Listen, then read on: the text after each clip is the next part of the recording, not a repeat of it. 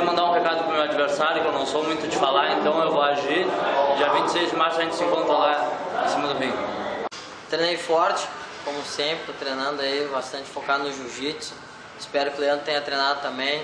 Vou dar uma força pra galera de Pelotas aí contra o Rio Grande. É nóis, valeu, espera. Hora, Leandro, é nóis.